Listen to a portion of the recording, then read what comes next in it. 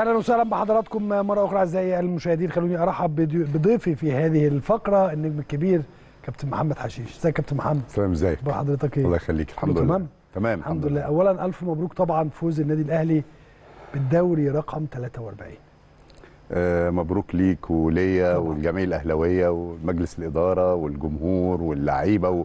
وكل ما ينتمي إلى النادي الأهلي. آه إنجازات عمالة تتحقق خلال فترة قليلة.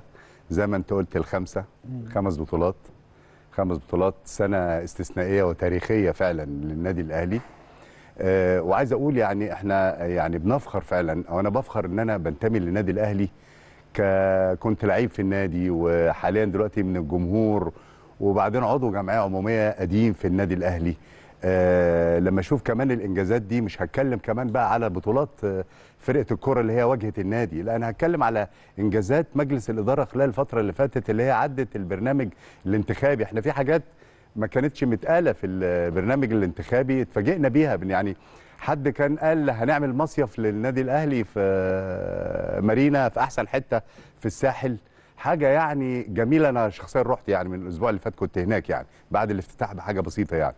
حاجة جميلة جدا. الناس اللي مثلا ما بتقدرش مثلا تروح مارينا تروح حتة بتغير حتى لو قاعدة في حتة تانية. راحة مصيف حاجة جميلة. شعار النادي الأهلي موجود بلاش كبير مش صغير خدمات على أعلى مستوى. دي إضافة. حاجة أنت أنت آه، آه، مجلس إدارة بيسعى إن هو إزاي يسعد آه، الجمعية العمومية. هنتكلم على ال- الفروع الفروع الكتيرة اللي معمولة دلوقتي أربع فروع.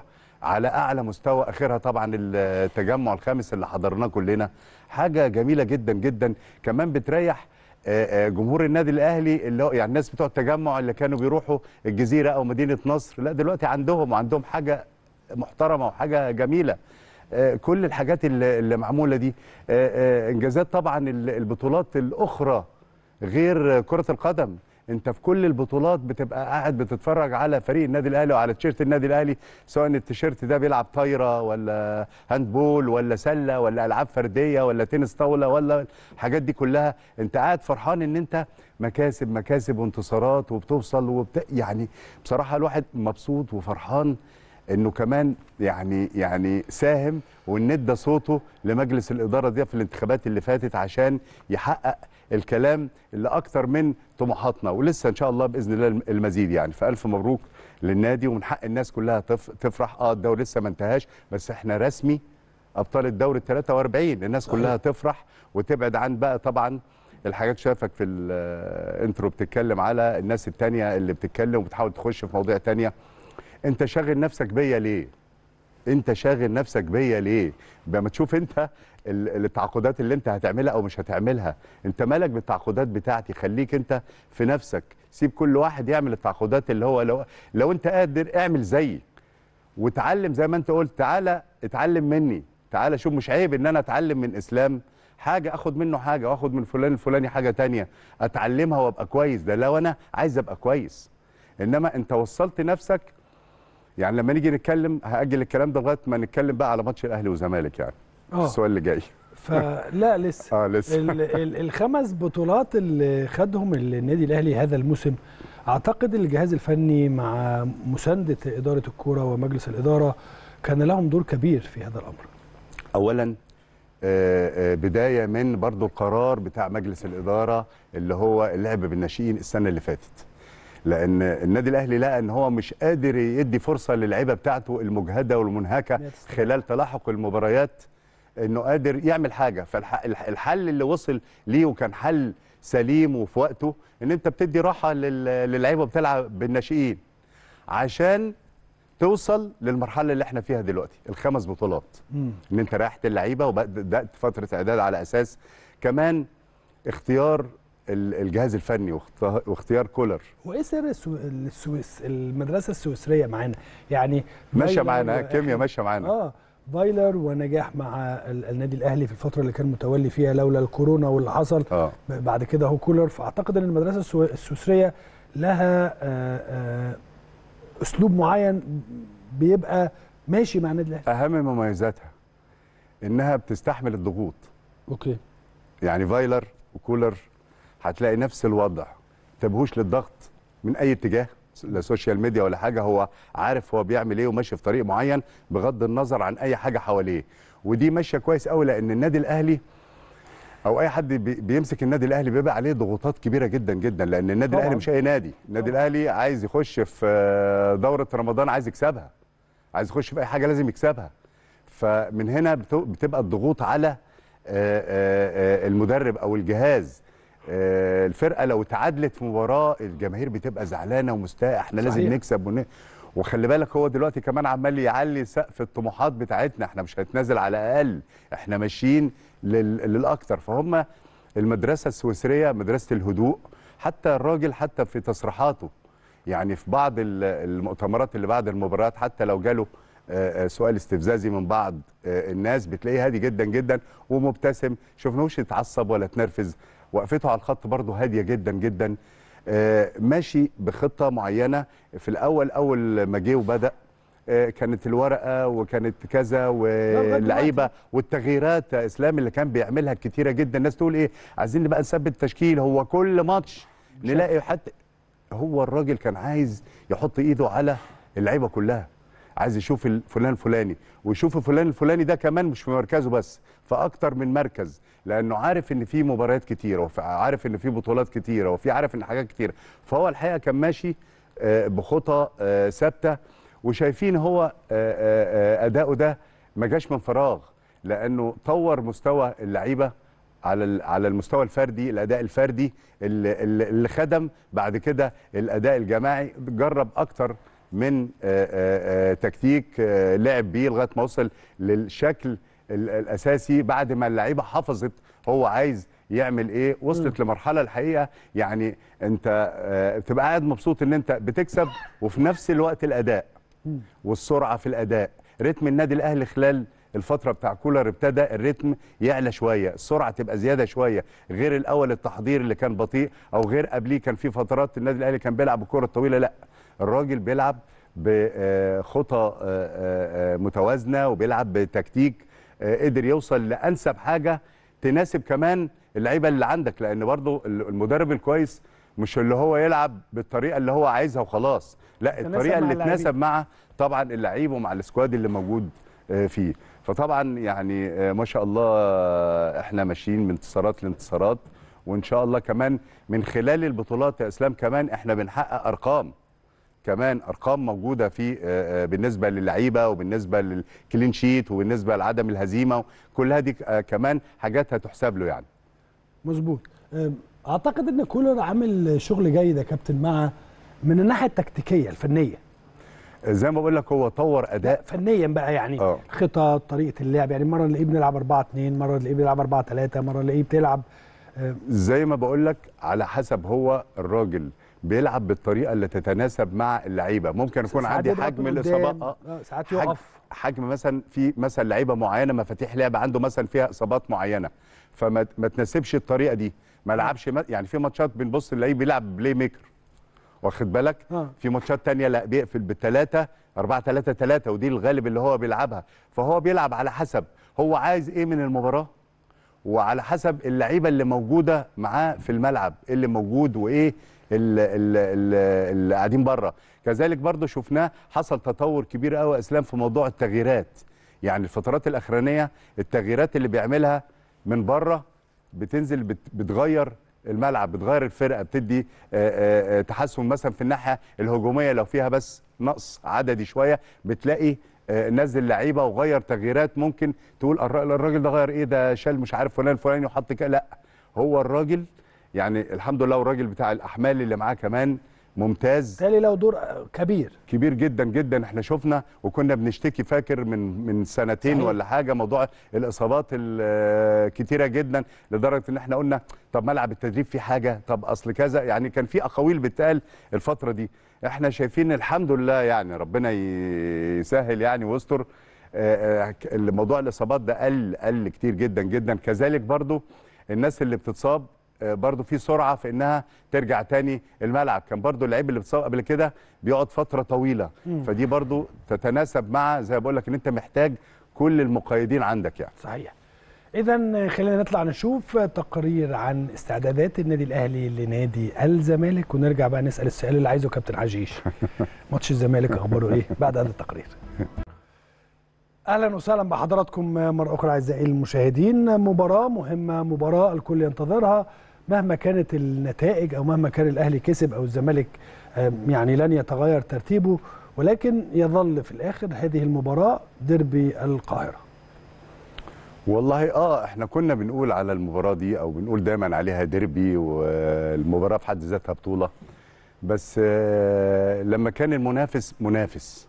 إنما أنت دلوقتي بتتكلم على أنت ما أنت ما عندكش منافس هنا. يعني شوف ترتيبك في في بطولة الدوري عاملة إزاي شوف فرق النقاط عامل إزاي آه شوف النتائج بتاعتك شوف عدم الهزايم خلال البطولة كلها شوف أنت دلوقتي بطل إفريقيا وبطل الدوري المحلي وبطل الكاس وبطل السوبر وبطل وبطل والباقي ما فيش حد يعني بعيد فما بقتش فيه المنافسة اللي تقدر تقول عليها ده ماتش بطولة يعني بطولة في حد ذاتها لا مش بطولة في حد ذاتها. أنا هنزل إن شاء الله المباراة دي. أنا متخيل إن كولر لازم يقول للناس انزل استمتع. أنت معلكش ضغط. آه تنزل تستمتع عشان تكسب وتكسب كويس. إنما أنت ما عندكش ضغط. الطرف الثاني هو اللي عنده ضغط. لأن الطرف الثاني مقابل دلوقتي بطل القارة وبطل مصر في كل حاجة. فلازم يبقى هو اللي قلقان. هو اللي لازم يبقى قلقان. إنما أنت ما عليكش ضغط. أنا استمتع. وأنا حالتي كويسة بدنيا وفنيا ومستوى عالي وآخر مباراه الأداء حلو قوي واللعيبة مكتملة. فأنت نازل آه تحتفل تحتفل إنك بطل الأبطال جوه وبره تستمتع وتلعب كورة. النتيجة دي ما تفرقش. يعني النتيجه دي عند ربنا ما أنت ياما بتلعب مباريات وما فيش توفيق. إنما استمتع وخليها مباراة للمتعة. أنا أنا ده رأيي. بغض النظر عن التفاصيل لو عايز هتتكلم على التفاصيل هنتكلم على التفاصيل و... وأنا برضو بخالف حضرتك هذا الرأي ولكن خليني الأول وهرجع أتكلم مع حضرتك في هذا الأمر ولكن خلينا الأول بس الرابطة نزلت دلوقتي بيان فيما يخص تسليم درع الدوري العام. الحقيقة قررت. ده بيان رابطة الأندية المحترفة والأهلي يتفقان على تسليم الدرع عقب مباراة الحرس. قرر رابطة الأندية المحترفة تسليم درع الدوري إلى فريق النادي الأهلي الحائز على البطولة وذلك عقب أحداث مباراته مع حرس الحدود المقرر إقامتها يوم الأحد 19 7 2023 باستاد القاهرة الدولي. جاء هذا القرار في ضوء الاتصالات التي أجراها النائب أحمد دياب رئيس الرابطة. مع الكابتن محمود الخطيب رئيس النادي الأهلي للتنسيق حول الموعد المناسب لاستلام الدرع وآثر الكابتن محمود الخطيب الاستناد إلى رؤية الجهاز الفني اولا في هذا الشأن والذي طلب استلام الدرع في الموعد المشار إليه. في الختام تتمنى رابطة الأندية المصرية المحترفة التوفيق للجميع.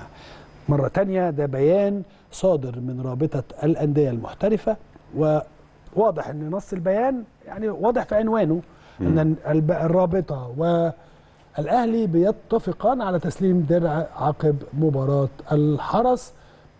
وطبعا ده بعد مكالمة ما بين النائب أحمد دياب مع الكابتن محمود الخطيب. وكانت المكالمة دي للتنسيق. وكابتن خطيب آثر الاستناد إلى أو يعني حب الاستناد إلى رؤية الجهاز الفني في هذا الشأن والذي طلب استلام الدرع في الموعد المشار إليه. اذا اختار الجهاز الفني للنادي الأهلي أن يكون استلام الدرع يوم الأحد القادم. تمام طالما هناك اتفاق ما بين النادي الأهلي وما بين رابطة الأندية من خلال طلب من الجهاز الفني أعتقد اذا الأمور منتهية وإحنا كجمهور في النهاية هنعمل إيه؟ هنقف أي حاجة وهنحتفل إن شاء الله. يعني إحنا طبعا هنحتفل إحنا أو إحنا بنحتفل اوريدي ولكن إن شاء الله يوم الأحد القادم الاحتفال يبقى أحسن حاجة في الدنيا إن شاء الله. هو طبعا إحنا بنثق طبعا في مجلس الإدارة وكابتن الخطيب. فطالما حصل اتفاق على هذا الموعد. ما حدش هيقدر طبعا يتكلم. صحيح. هو دي لها رؤية طبعا عند الكابتن الخطيب. آه، ممكن عشان ما تأثرش على مثلا ال- المباراة القادمة إن يبقى في احتفالات برضو نوع من أنواع التركيز في المباراة. ممكن وارد إحنا طبعا ما بنقولش هو ده ال- ال- الاستناد يعني. آه، آه، شاف إن بعد ما المباريات كلها تخلص بس أنا بقول هل ال- ال- الوضع الطبيعي إنه كان يبقى في المباراة الجاية ولا الوضع الطبيعي إن الوضع؟ الطبيعي أن يكون هناك اتفاق. آه بس. وطالما تم الاتفاق خلاص. خلاص. كان بيلغي أي حاجة. الاتفاق على يوم الخميس. آه. فقال لك لا الاتفاق يوم الأحد خلاص يبقى يوم الأحد. أو يعني يوم 19 بالظبط 7 أنا مش عارف بالظبط 19 ده. بالظبط. هيطلع يوم إيه 19 7 ده يا شباب؟ شوفوا قولوا لي هو, هو المهم 19 إن. النادي الأهلي يوم الأربعاء مش الأحد أنا آسف النادي الأهلي هو اللي بيتفق يستلم أيوة. بكرة ولا بعده ولا بعده ولا. بعده خلاص الموضوع انتهى آه وحتة الاستلام خلاص هو استلام الدرع في حد ذاته ده ده ده رمز بس يعني ده رمز صحيح. إنما البطولة خلاص انتهت البطولة والناس انتهت. فرحت يعني طيب نرجع تاني لمباراة الأهلي وال- والزمالك أم، أولا أعرف رأيك برضو قبل ما نروح للنواحي الفنية يا كابتن حشيش في إسناد آه، هذه المباراة لطاقم تحكيم مصري. آه، طبعا أنا كنت أفضل إنه يبقى طاقم حكام أجنبي أنا. بالنسبة لي يعني. إنما أكيد الظروف اللي هي آه، يعني خلت إن يبقى في حكم مصري ممكن يكون الإمكانيات الفلوس مثلا ممكن ماتش زي ده يدي ثقة للحكام المصريين إنه بيحكم طبعا يعني ماتش بين القطبين يعني. فدي بتدي ثقة للحكم المصري لأن دي برضو الحاجات الصغيرة دي إسلام بتأثر على آه، وضع الحكام في إفريقيا عموما. صحيح. يعني بتأثر عليهم من ناحية يعني أنت جايب حكام أجانب العام. أنت ما بتثقش في الحكم آه، المصري يعني ايا كان طرفين ال- ال- اللقاء يعني.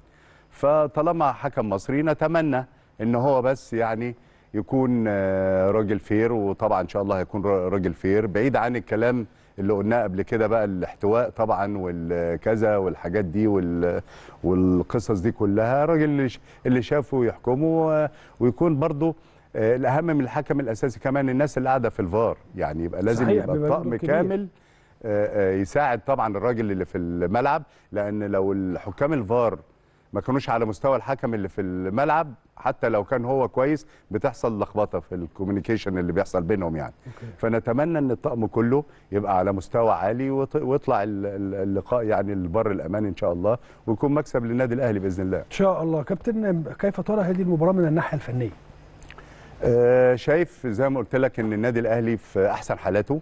اللعيبة معظمهم في في أحسن حالاتها وفي ال top form زي ما زي ما إحنا بنقول. انتصارات واخدين آه، بطولة آه، الدوري. مفيش ضغط إن أنت عايز تجيب بس نقطة أو اتنين عشان عشان تعدي. أنت نازل خلاص البطولة انتهت. زي ما بقول لك أنت بتلعب مباراة إن شاء الله للتاريخ بتستمتع بالكورة. كل واحد بيدي ال- ال- اللي عنده آه، بيستمتع بالكورة. وأهم حاجة في الدنيا إنك لما تيجي تنزل المباراة إنك تحاول إنك تستمتع.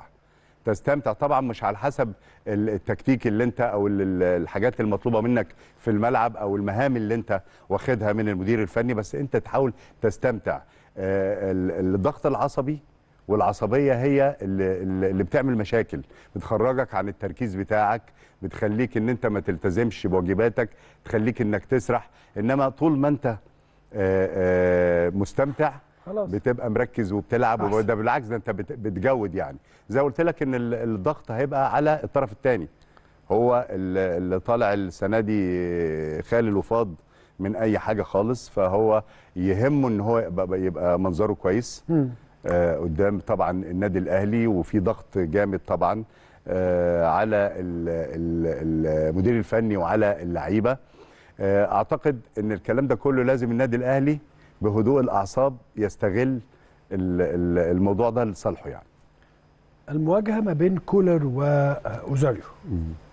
آه، الراجل الحقيقة آه، يعني كان في بداياته وزاريو طبعا في بداياته مع نادي الزمالك يعني كان أول لسه مواجهة بينهم. آه طبعا ما كانش لسه يعني آه، آه، عارف الفرقة وحافظ الفرقة وعايز يدي تكتيك معين كان بيعمل حاجات طبعا غريبة كنا بنشوفها في الملعب تغييرات غريبة اللعيبه مش في أماكنها كده. آه، إنما الفترة الأخيرة ابتدى الأداء يتحسن معاه يعني ابتدى الأداء يتحسن. الأداء الهجومي الحقيقة الأداء الهجومي آه. آه. آه، ممكن يبقى على حساب الناحية الدفاعية شوية في بعض الأحيان آه إنما هو الأداء الهجومي طبعا اتحسن. نادي الزمالك عنده طبعا لعيبة كويسة وعلى مستوى كويس وفيه عندهم مهارات عالية. آه شفناهم آخر مباراة طبعا آه بالنتيجة الكبيرة آه اللي برضه لا تدل عن سير المباراة لأن المقاولين ما كانش موجود الحقيقة ما جاش يعني. يعني ما جاش المباراة اللي فاتت خالص نادي المقاولين العرب عمري آه. ولا قبل اللي فاتت. عمري يعني ما شفت نادي المقاولين وأنا ومع كابتن شوقي تحديدا. ومع كابتن شوقي لأن هم كانوا بادئين بداية كبيرة جدا جدا وعاملين نتائج كويسة قوي أداء كويس قوي قوي عندهم مجموعة من الأفارقة كويسة. إنما الماتش ده كان فيه حاجة غير طبيعية يعني. صحيح. ف في مستواهم يعني. مش مستواه. ده برضه مش. مش مقياس آه، حقيقي لنادي الزمالك. إنما أنا أعتقد إن المباراة هتبقى مباراة قوية. أتمنى بس إنها تبقى مباراة هادية ما تبقاش عصبية. لأن طبعا الأحداث الأخيرة وال social media والأطراف الكتيرة اللي هي بتحاول يعني آه، تسبب مشاكل أو تعمل فتنة بين ال- الناديين والناس الغير مسؤولة اللي بتطلع بتمسك الميكروفونات وتتكلم أو على ال social media. بيتكلموا في حاجات تانية وبيتكلموا في الحاجات للأسف حاجات لا تليق يعني. نتمنى إن هي ما تنعكسش على الجماهير أو على اللعيبة في الملعب ويكون مباراة زي ما بقول لك مباراة هادية آه، ملهاش علاقة بأي نقاط لأن النادي الأهلي حسم ونادي الزمالك مالوش في الموضوع يعني ملاش مش آه، يعني يعني ثالث يا رابع آه. بالظبط كده فيعني هي مش متوقف عليها حاجة فمن هنا المفروض يبقى فيه هدوء ومباراة ماتش حلو بيني وبينك ماتش. حلو آه. لأن لأن الناس بتستمتع جوه مصر وبره بره مصر مصر. بتستنى المباريات اللي زي دي عشان حقيقي. تستمتع و و وبتدي برضه حكم على الكرة المصرية طبعا النادي الأهلي الناس تحكم عليه من خلال آه، صولاته اللي هي الإفريقية والكأس عالم أندية والحاجات دي. فإنما دي مباراة في الدوري المصري عشان حتى يعني ندي قيمة كويسة قيمة أخلاقية الأول قبل فنية للدوري المصري لا يعني. إن شاء الله نشوف آه، يعني من الناحية الأخلاقية إن شاء الله سواء أهلي أو الله. زمالك يبقوا يعملوا حاجة آه، تليق باسم كرة القدم المصرية. خلينا نبعد شوية عن هذه المباراة واخد حضرتك ل ال- ال- الهبوط. آه. محلة جيش أو محلة واسوان والداخلية. يعني حرس حدود خلاص. آه بالظبط. ففي اتنين من الثلاثه دول الداخليه موقفه معقد جدا يعني ولكن أنا بعتبر الداخلية بس هبط. أنا أنا أنا أنا هقول لك على حاجة. اتفضل. أنا من الفرق اللي بحبها الداخلية. آه. الماتش اللي فات ماتش الإسماعيلي. عاملين ماتش كويس قوي one side game مع الإسماعيلي. صحيح. يعني يعني في في السويس. يعني انت فاهم إزاي بيلعب برضه. برغم- غلطة مدافع آه، برغم ان هو بيلعب آه، المباراة بتاعته بس بيلعب في, في السويس السويس آه عامل مباراة آه، آه، كبيرة جدا جدا برغم الغلط اللي من المدافع اللي في بداية المباراة اللي هو يهد أي فرقة هم ضيعوا ثلاث أربع تجوال في آخر خمس إنما مع. ذلك بعد الهدف مسك المباراة للنهاية وضيع أكتر من فرصة هنا فنيا. ولكن طبعا. الإسماعيلي قيمته كبيرة جدا طبعا الإسماعيلي طبعا يعني. آه طبعا من الأندية اللي لازم تبقى موجودة على طول في نشوفها على طول باستمرار بينافس على الدوري مش يعني, يعني، الواحد مش عايز آه، يلا تاريخ آه، تاريخ كبير ويعني مستوى طول عمرنا الدراويش طبعا يعني طبعاً، يعني طبعاً. محفورة في قلوب الناس كلها يعني طبعا إنما أنا بتكلم على المستوى الفني آه أنا بتكلم يعني آه، طرف الداخلية عشان هربطه بموضوع الهبوط وال. فأنا شايف إن مستوى لعيبته الد- الداخلية من الفرق اللي ما دعمتش السنة دي ما جابتش لعيبة بأرقام ما جابتش صحيح. حاجة بتلعب باولاد صغيرين معاهم علاء عبد العال مدرب محترم مدرب كويس قوي آه، جنبه التوفيق في مباريات كتيرة جدا كان ممكن يبقى في حتة هادية وحتة مستريحة يعني فأنا أعتقد إن هو لسه لغاية النهارده هو يكسب الماتش الجاي يكسب أسوان يصعد مم. فأنا وأنا عندي احساس بالحتة دي. مم. يعني أنا عندي احساس ان هو هيقدر يكسب هو من خلال المستوى اللي شفته المباراة اللي فاتت لا هو حتى لو كسب أسوان والمحلة هيبقى كسب. 36 لا ولو المحلة كسب برضه حرس الحدود أعتقد هيبقى محل آه، 37. حرس الحدود. بص هي كلها توقعات وتكهنات بس أنا أتمنى ولا المحلة هيبقى كام يا شباب؟ هاتوا لي الجدول لو سمحتوا. اتفضل. آه آه، أنا أتمنى بصراحة يعني أنا عن نفسي لو هتسألني أتمنى الداخلية لأن أنا أتمنى برضو فرق من من الفرق اللي بتلعب كره حلوة ومعاها مدرب كويس إنه يستمر. أنا شخصيا أتمنى المحلة وأسوان. عشان نوادي شعبية. نوادي شعبية أندية. شعبية. آه يعني طبعا احترامي الكبير للداخلية. أنا أنا بحب كابتن علاء. مع حضرتك في كل الكلام اللي أنت بتقوله آه. من الناحية الفنية ولكن أسوان آه، فريق محترم وجماهيرية كبيرة جدا لكل لكل محافظة أسوان. محله نفس الكلام ما. أنا هقول لك حاجة إسلام ما هو. في الجانب الثاني أنت بتحزن بقى إن لما يكون أندية شعبية وتوصل للمرحلة اللي هي فيها أوكي هي وصلت بس يعني لو يعني لو أقصد- أنا أقصد يتاح أنت بتك- أنا أختار أنت بتتكلم على. نادي على نادي بدون جماهير خالص وزيه زي الأندية الشعبية اللي بتلعب على الأقل على أرضها بجمهور يعني شاف جمهور المحل عامل إزاي وجمهور أسوان هناك في أسوان عامل إزاي يعني حقيقي. أنت فاهم إزاي لما فرقة ما فيش أي بقى جمهور ومش نادي شعبي ويبقى هو هو زي ال- الأندية الثانية وبيلعب كورة حلوة. يعني هو بيلعب كورة لا بعيدا عن حلوة الكورة أنا بتكلم إن ده نادي أسوان. تمام. نادي آه، آه، محلة. على فكرة أنا أسوان مشفق؟ عليهم على فكرة. نعم؟ مشفق عليهم آه، أسوان. بصراحة آه. يعني من إمكانيات الضعيفة اللي موجودة والسفر اللي رايح جاي جاي يبقى عنده ماتش في اسكندرية وراجع عنده ماتش عشان يرجع تاني هنا وهنا وهنا وهنا. عبء كبير جدا صحيح. جدا. يعني بصراحة عبء كبير جدا لو عليهم نزلوا درجة تانية السنة الجاية هتبقى بدوري المحترفين. يعني بالظبط. كذلك المحلة. طب المحله كان بادئ طبعا. كان بادئ الدور الأولاني كويس وماشي كويس. طب انت إيه اللي خلاك التراجع التراجع وبعدين برضو انت بتبص للإدارة. تغيير المدربين الكتير قوي خلال الفترة اللي فاتت دي مش معقوله يا جماعة. لو تغيير الإدارة وعندهم إدارة يعني ماشي. يعني يعني انت فاهم إزاي في مشاكل مشاكل كتيرة لازم تؤدي للموضوع ده. مم. انما انت عارف آه، اندية الجيش والشرطة والكلام ده بيبقى فيه استقرار دايما في الإدارة. يعني بيبقى فيه دايما استقرار في الإدارة ومش ماشيين بخطى ثابتة. وزي ما بقول لك ما بيدعموش وما يصرفوش بقى مين اللي مبالغ. هينزل يا كابتن من الثلاث فرق دول؟ أو الاقرب هو أنا الأقرب الداخلية. آه. مع مين؟ أسوان ولا محلة؟ أو أو زي ما حضرتك عايز الداخلية أسوان محلة اتنين منهم. مش اللي تتمناه آه، آه، الموقف. آه، الموقف. شباب هاتوا لي الجدول لو سمحتوا. جدول. آه، أنا بقول ممكن أسوان. آه. ممكن أسوان. آه. لأن ال- المحلة بيلعب مع هيلاعب آه، حرس الحدود. آه. وماتش يعني هيكسب. أنت فاهم إزاي؟ فممكن يبقى فرصته أحسن أكبر. شوية. آه. آه، وأنا بقول إن الداخلية ممكن تعمل مفاجأة مع إن أنا بحب كابتن أيمن الرمادي قوي يعني عامل. برضه نتائج وعده و- والمدربين يعني أنا أعتقد إن لا قدر الله لو أسوان آه، آه، هبطت ممكن يبقى له وجود في نادي من الأندية ال- ال- آه. اللي في الدوري الممتاز يعني. لأن هو أعتقد بعد البدايات الكويسة اللي كان ماشي بيها قوي آه، ممكن قلة الإمكانيات والظروف اللي إحنا اتكلمنا عليها دي دي اللي عطلته شوية الحقيقة. آه. وبرده ممكن فرطوا في لعيبة في الانتقالات ال ال في, في يناير ممكن آه. آه ممكن هي اللي, اللي برده ممكن تكون أثرت. فأنا أعتقد إن ممكن يعني يبقى حرس وداخلية و آه مع التحفظ على الداخلية. أنا برضو. الداخلية حاسس إن آه. لا حتى لو أسوان حتى لو الداخلية كسبت آه. والمحلة كسب. لو المحلة كسبت لو المحلة كسبت ممكن تتعادل. صحيح ممكن تتعادل وارد لأن أنت برضو ب... هم بيلعبوا فريق خلاص هابط آه. وبيلعبوا برضو إيه مفيش ضغوط ضغوط،. عليهم فبيلعب برضو ما... فهي الماتشات دي أصلها صعوبتها في كده. آه. يعني آه، أنت بتلعب واحد آه، بيلعب براحته خالص مفيش ضغط عليه وأنت عندك دايس. دايس جامد. مم. فلا لا يعني والماتش اتنقل من استاد المكس لبرج العرب بجمهور. يعني ما بين المحلة وحرس الحدود الح- يعني. آه آه آه. طبعا هيبقى جمهور طبعا المحلة أكيد هي طبعا. طبعا. يبقى عامل كبير هناك إنما هي كرة أنا دايماً- القدم. أنا دايما بحب أشوف المحلة أحب أشوف أسوان أحب أشوف جمهور المحلة أحب أشوف جمهور أسوان. آه، ما- الجماهيرية الكبيرة دي اللي موجودة في كل المحافظات. آه، مشكلة برضو يعني أسلام نفسي النادي المشكلة الأولمبي برضو يعود المشكلة المشكلة إن أنت برضو هنفضل. هنفضل في القصة دي كل سنة. الكورة دلوقتي منين؟ بقت إمكانيات آه. وتدعيم وصرف. صحيح. فغير كده يعني هنفضل نتعاطف نتعاطف والناس برضو لازم الناس تيجي يعني لازم يبقى في تصرف. صحيح. لازم يجي تصرف. عشان كده انت في بداية الكلام لما كنت بتقول مش عيب إن الناس تيجي تتعلم من النادي الأهلي. طبعا كل واحد على على ال scale ال scale بتاعه يعني.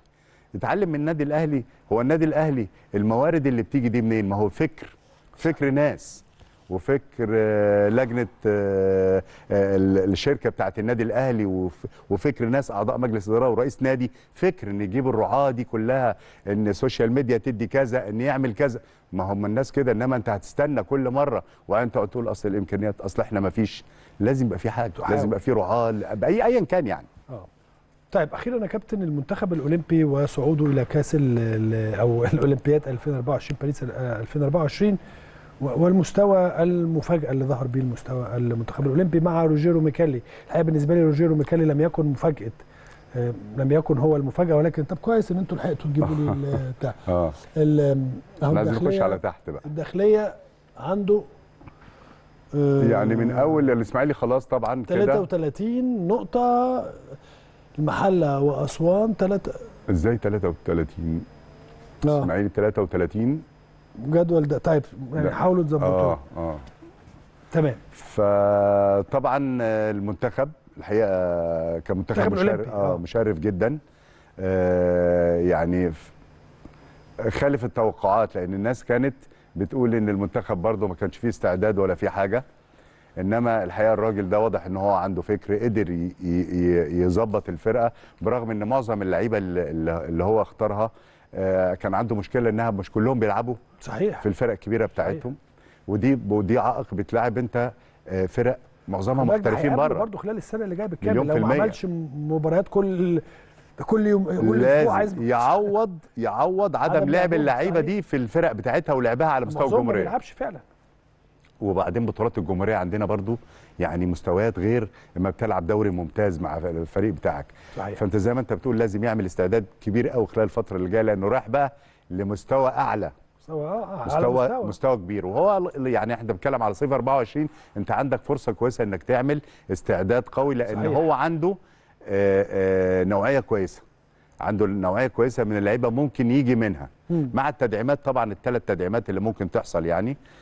للفريق إنما لازم ماتشات كتير ماتشات كتير ماتشات كتير ومع منافسين كبار قوي عشان اللعيبة برضو اللي هي ناقصة في المباريات ما تروحش تخض من ال- من المستويات الكبيرة كبيرة اللي. هيقابلوها صحيح. فلازم استعداد قوي جدا جدا إحنا عملنا إنجاز توصل لل- للمباراة النهائية وبتخسر 2-1 بعد أداء مشرف بعد نقص عددي فأنت عامل فرقة كويسه حقيقي. عامل فرقة كويسة قوي آه، بال- بالإعداد الاكتر بقى وبالاحتكاك الكبير مع آه، آه، خلال الفترة اللي جاية دي ممكن تظهر بمظهر كويس يعني.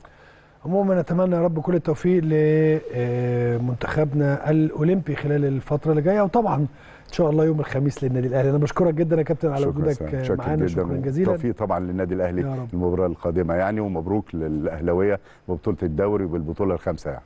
يا رب إن شاء الله. هنطلع فاصل وبعد هذا الفاصل الأساتذة الأستاذ عصام شلتوت والأستاذ عبد الحكيم أبو علم في ضيافة البيت الكبير